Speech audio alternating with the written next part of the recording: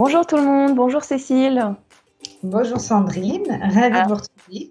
On se retrouve aujourd'hui donc pour un nouveau rendez-vous sur notre branche et aujourd'hui, alors on va aborder une thématique qui nous tient à cœur vraiment toutes les deux. Donc euh, on va vous parler de la cuisine en famille et pourquoi évoquer la cuisine quand on veut retracer son histoire familiale.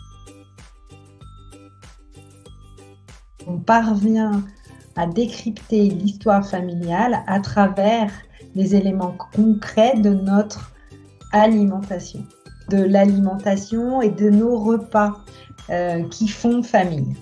Ça fait l'objet d'une rubrique euh, à part entière dans le livre sur lequel on est en train de travailler, un livre dont on vous parlera euh, plus tard parce que voilà la sortie est prévue pour 2022 et, c'est un petit peu trop tôt pour en parler.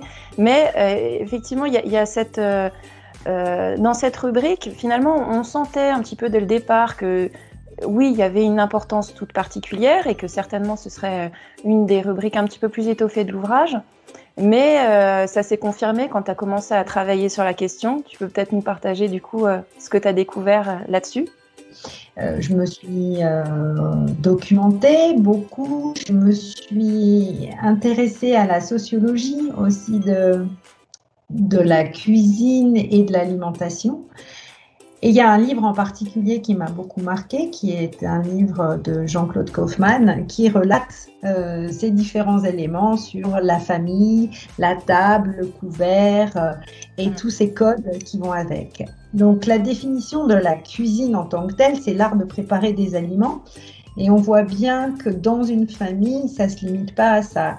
Il y a des familles qui ne cuisinent pas particulièrement, hein, et de, de plus en plus. Par contre, euh, les familles prennent des repas ensemble, quels qu'ils soient. Et donc, c'est à travers ces rituels de prise de commun ensemble ou pas, construisent euh, les interactions au sein d'un foyer. Et ces interactions au sein d'un foyer qu'on est en train de construire quand on est parent dépendent aussi de ce qu'on a reçu euh, comme éducation de la branche maternelle et de la branche paternelle. Et qu'est-ce qu'on retient justement de ces différents codes dans notre quotidien? Donc c'est assez vaste. Oui, tout à fait. C'est très révélateur quand on, on, peut être amené à aller dans, dans, une autre famille que la sienne et partager justement un, un moment comme un repas. On peut effectivement voir les différences qu'il peut y avoir avec nos habitudes, euh, voir ce qui se transmet ou pas, les échanges, parce que c'est vrai que ce sont des moments importants. Euh, euh, dans, notre livre, on parle de, dans certaines familles, la place par exemple de la télé. Donc là, les échanges sont pas les mêmes que quand voilà, la télé est, est éteinte. Enfin voilà, il y, a un certain nombre de, de, facteurs qui font que c'est vrai, tu as raison de dire, ça vient bien au-delà de l'alimentation. En fait, nos, nos rites familiaux autour de l'assiette. Ça, c'est une chose qu'il faut avoir en tête. Et dans ces rites familiaux, il y a plusieurs éléments. Parfois, il y a les codes vestimentaires. On ne vient pas à table euh, euh, torse nu chez certains. Parfois, ça n'a pas d'importance. Les horaires, évidemment, sont variables selon euh, les familles. On peut situer un peu les horaires aussi selon des territoires, la manière dont on met la table. Euh, certaines personnes mettent à peine une assiette et une assiette et une fourchette, lorsque d'autres vont avoir une table extrêmement élaborée à chaque repas.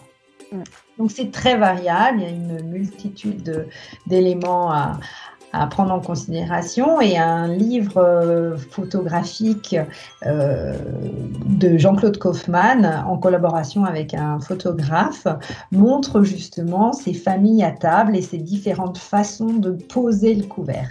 Donc c'est assez fascinant. Euh, j'aime beaucoup cet ouvrage. C'est vrai que ça immortalise à un instant T vraiment une, des façons de faire, quoi, des traditions. Là.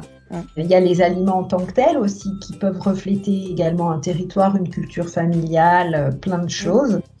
Les modes de consommation, c'est-à-dire euh, est-ce qu'on fait euh, du vite fait, est-ce qu'on cuisine de manière élaborée, est-ce qu'on prend plus le temps justement le week-end, le, repas dominical, voilà, hein, c'est ça fait partie aussi des traditions pour certains. Des personnes qui vivent avec euh, le journal télévisé à 20h euh, tous les soirs à dîner et personne ne prend la parole puisque euh, on écoute religieusement le journal de 20h par exemple. à l'inverse, il y a des familles où la télé est complètement absente et absolument interdite dès lors qu'on passe à table. Mm. Donc, toutes ces pratiques, elles, elles, participent de la construction de nos interactions au sein de la famille. Mm, tout à fait.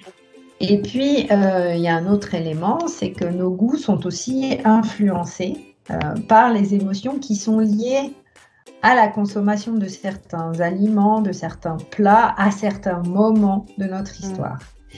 Alors, euh, par exemple, bah, la Madeleine de Proust, c'est emblématique de ça. Ouais.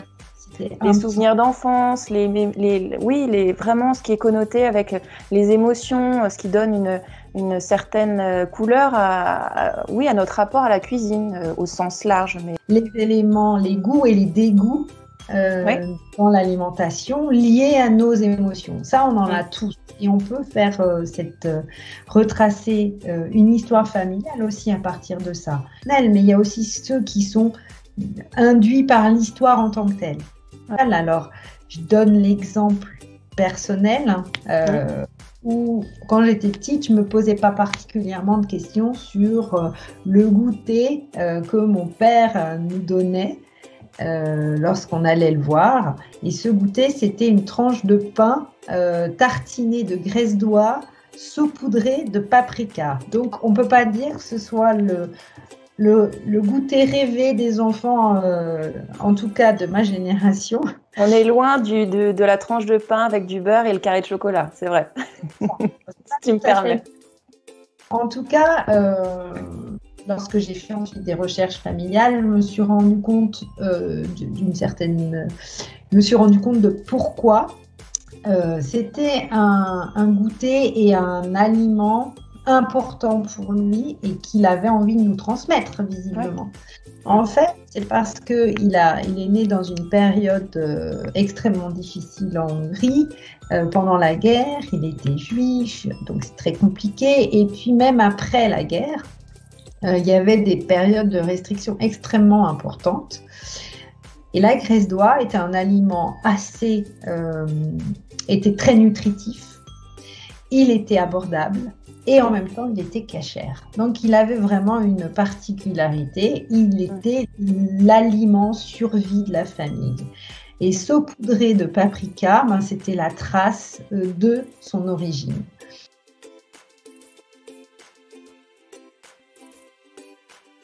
L'exemple euh, hongrois dans ma famille, on mangeait toujours à une certaine heure, assez tôt en fin d'après-midi.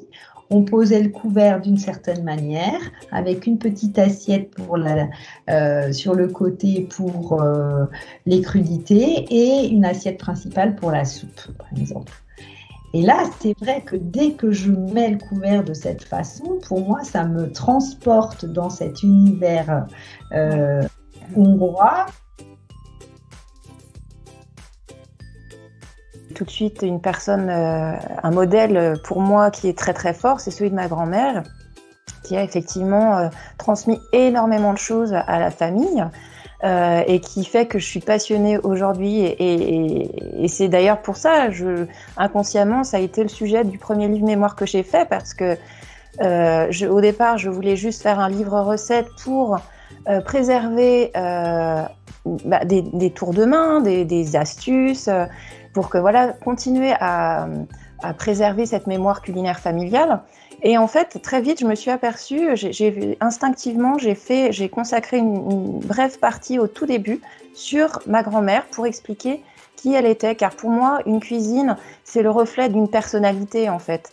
Euh, c'est vrai que ça, va au-delà des, ingrédients. C'est euh, vraiment la personne qui cuisine, les, fait à sa façon. Donc ça, révèle vraiment, on est dans le, terrain sensible, euh, de l'émotionnel. Donc la cuisine, au départ, en fait, on s'alimente pour la survie. est devenu un, moment clé pour des rituels, dès la préhistoire. Mm. Donc, c'est pas étonnant euh, qu'en travaillant sur cet aspect de la, de la cuisine, de l'alimentation, des repas, on développe ainsi toute une construction familiale et tout un mm. mode de faire, un mode de penser. Ça, c'est à l'âge adulte finalement qu'on commence à analyser tout ce cheminement-là. Mais c'est vrai que les, éléments qu'on commence à, nous transmettre, c'est dès l'enfance finalement, quand on commence à cuisiner, à, transmettre euh, les bases. Ça peut être une activité ludique. Moi, je sais que je le fais régulièrement avec mes jeunes enfants parce que j'ai à cœur aussi de transmettre cette tradition de bien cuisiner parce qu'on aime manger. Enfin voilà, se faire plaisir, c'est aussi ça. Et, c'est plus tard, effectivement, qu'on analyse plus finement, ah oui, donc qu'est-ce que ça implique réellement, quoi. C'est ça mm. qui est passionnant, quoi. On pourrait euh, en discuter pendant des heures ensemble, mais bon, je pense que voilà, aujourd'hui, on, avait envie de vous partager, euh, ben, voilà, ces, informations euh, qui peut-être vous feront réfléchir et vous donneront envie, voilà, de, revisiter votre histoire familiale par le prisme de la cuisine. Et ben écoute Cécile, je te remercie pour cet échange qui était vraiment riche et hyper intéressant, passionnant. Et puis on se dit à très bientôt pour un prochain rendez-vous. Oui, ben merci à toi pour cet entretien euh, qui m'a donné euh, l'opportunité de parler de ce sujet qui m'intéresse euh, énormément. Et puis on se retrouve en tout cas avec Adeline pour ma part lors du prochain numéro sur les astuces pour interviewer ses proches. Lors d'un numéro, je pense, si tu veux bien confirmer, le 4 septembre prochain. C'est ça, pour la rentrée. Voilà, vous aurez ce numéro disponible le 4 septembre, tout à fait à 10h sur notre chaîne YouTube. Donc n'hésitez pas à vous abonner euh, pour être informé dès la sortie des prochaines vidéos. Voilà. Merci Cécile. Merci à toi. À bientôt. Au revoir.